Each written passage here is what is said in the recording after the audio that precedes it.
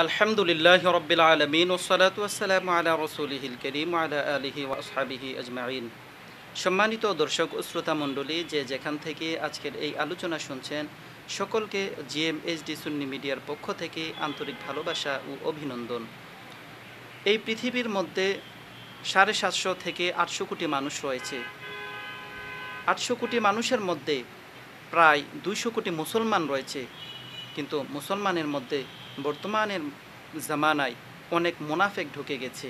আজকে আমরা জেনে নেব মুনাফেকের কিছু গুণাবলী যা আমরা নবী করিম সাল্লাহ তাল আলী ওসাল্লামের হাদিস শরীফের মাধ্যমে জানতে পেরেছি। যে হাদিসখানা মিশকাত শরীফের মধ্যে এসেছে। আন আবি হুরাইরত রদিয়াল্লাহ তাল আনহ কল রসুল্লাহি সাল্লাহ আলী ওয়াসাল্লাম, আয়াতুল মুনাফিক ইদা হাদ্দাসা কাদাবা ওয়াইদা ওয়াদা আখলাফা ওয়াইদা তুমিনা খান হজরত আবু হরাইরা রদিয়াল্লাহ তালা আনহু থেকে বর্ণিত নবী করিম সাল্লাহ তাল আলী হোসাল্লাম বলতেছেন, আয়াতুল মুনাফিকি সালাসুন। মুনাফিকের আলামত হলো প্রধানত তিনটি। ইদা হাদ্দাসা কাদাবা যখন মানুষটা কথা বলে সর্বাধিক সময় মিথ্যা কথা বলবে। ওয়া ইদা ওয়াদা আখলাফা, যখন কোনো ভাইয়ের সাথে, কোনো বন্ধুর সাথে কোনো আত্মীয় স্বজনের সাথে কোনো ওয়াদা দেয়, ওই মানুষটা ওয়াদাটা খেলাফ করে ফেলে। তিন নাম্বার হলো, ওয়াইদা তুমিনা খান, যখন কোনো মানুষ, কোনো মানুষের সাথে কথা দেয়, ওই মানুষটা, ওই মুনাফিক শ্রেণির মানুষটা অন্য কোনো বন্ধুর সাথে বিশ্বাসঘাতকতা করে।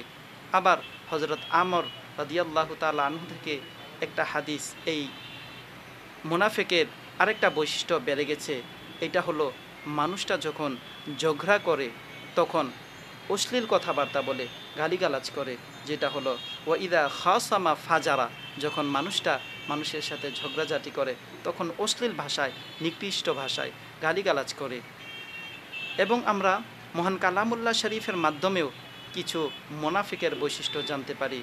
এটা হলো, সুরাতুল বাকারার মধ্যে যেটা এসেছে, দুই নম্বর পৃষ্ঠায় ও ইদা লাকুল্লাদিনা আমানু লু আমান্না ও ইদা খলাউ ইলা শায়াতিনিহিম কলু ইন্না মাকুম ইন্নামা নাহনু মুস্তাজিউন মোনাফিক শ্রেণির মানুষটা যখন কোনো মুমিন বান্দার কাছে যায়, ওই মোনাফেক বান্দাটা বলে, আমি তো তোমাদের সাথে আছি, আমি তো তোমাদের বন্ধু, আমি তো তোমাদের সাথেরই ইমানদার। আবার যখন ওই মোনাফেকটা কাফেরের সাথে যায়, তখন ওই মানুষটা, ওই মোনাফেকটা ওই কাফেরদেরকে বলতে থাকে আমি তো মমিন বান্দাদের সাথে মুনাফিকি করেছি, আমি তো মমিন বান্দার সাথে হাসি তামাশা করেছি। এই হলো মুনাফিকের বৈশিষ্ট্য। কিন্তু আমার আল্লাহ রব্বুল্লা আলমিন তাদেরকে ছেড়ে দেবেন না, বরং তাদের জন্য রয়েছে নিকৃষ্ট জাহান্নাম যেটা সুরাতুল নিসার মধ্যে এসেছে, ইন্নাল মুনাফিকিনা ফিদ্দারকিল আসফালি মিনান নার। মুনাফিক শ্রেণির মানুষগুলো জাহান্নামের একেবারে নিকৃষ্ট স্থানে তলদেশে থাকবে।